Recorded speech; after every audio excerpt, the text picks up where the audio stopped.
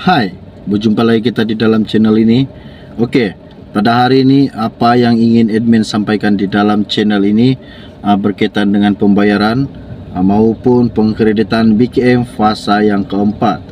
Adakah BKM fasa yang keempat ini akan uh, dikreditkan sebelum PRU 15 atau pengkreditan BKM fasa yang keempat ini akan dikreditkan pada ketetapan pada bulan Disember dan tarik rasmi uh, yang mungkin pasti ramai yang ter, ingin tertanya-tanya bilakah tarik rasmi sebenar pengkreditan BKM fasa yang keempat ini. Jadi sebelum admin mula seperti biasa kita intro dulu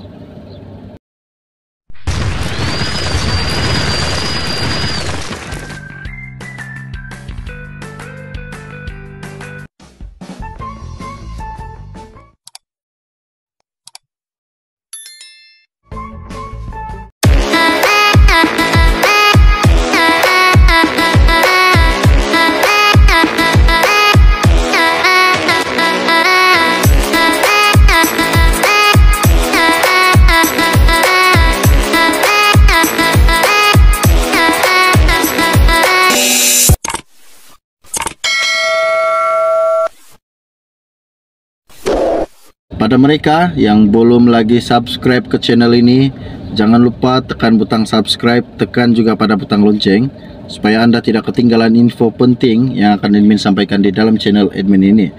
Bagi yang telah lama mengikuti channel ini, admin ucapkan ribuan terima kasih kerana anda telah membeli admin satu sokongan yang amat bermakna bagi diri admin. Seperti mana yang kita telah tahu bahawa pembayaran uh, pembayaran BKM fasa yang ketiga telah pun dibayar telah pun habis ah dikreditkan pada bulan September yang lalu. Ah, jadi sekarang ini kita ah, tengah menunggu ah, menunggu pengkreditan BKM fasa yang keempat pula. Seperti mana yang kita telah tahu bahawa Perdana Menteri kita yang terkini Datuk Seri Ismail Sabri Yaakob berkata pembayaran yang berjumlah RM2.2 bilion telah memanfaatkan seramai 8.7 juta penerima yang berkelayakan. Jadi admin ucapkan tahniah kepada yang layak untuk menerima bantuan uh, ah, BKM. BKM fasa pertama sehinggalah fasa keempat. Uh, bantuan keluarga Malaysia. Jumlah jumlah pembayaran BKM fasa yang keempat ini mungkin pasti ramai lagi yang belum tahu dan tertanya-tanya ah siapakah yang layak menerima pengkreditan BKM uh, fasa yang keempat ini dan berapakah jumlah uh, yang akan diterimakan uh, bil pengkreditan BKM fasa yang keempat. Kategori isi rumah yang berkahwin, pemohon berumur 59 tahun dan ke bawah, pendapatan isi rumah RM2.500 ringgit, tiada anak RM300 ringgit, satu hingga dua anak RM600 melebihi daripada tiga orang anak RM900 pendapatan isi rumah RM2501 sehingga RM5000 sebulan. Tiada anak RM100 satu hingga dua anak RM200 melebihi daripada tiga orang anak RM300 kategori isi rumah yang berkahwin berumur 60 tahun dan ke atas. Tambahan isi rumah warga emas sebanyak RM300. Pendapatan isi rumah RM2.501. Tiada anak RM300. Satu hingga dua anak RM600. Melebihi daripada tiga orang anak akan menerima RM900. Bagi pendapatan isi rumah RM2.501 sehingga RM5.000 tiada anak RM100 satu hingga dua anak RM200 melebihi daripada tiga orang anak RM300.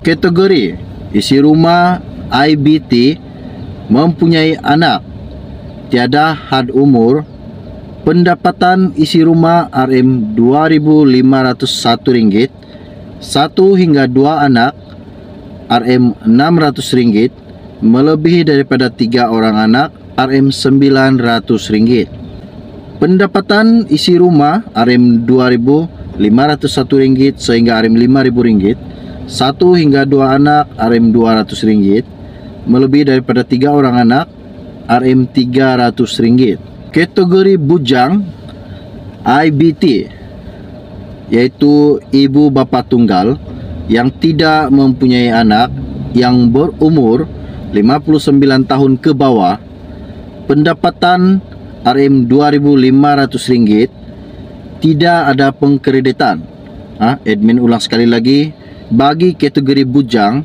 IBT tidak mempunyai anak yang berumur 59 tahun ke bawah tidak ada pengkreditan uh, BKM fasa yang keempat ini.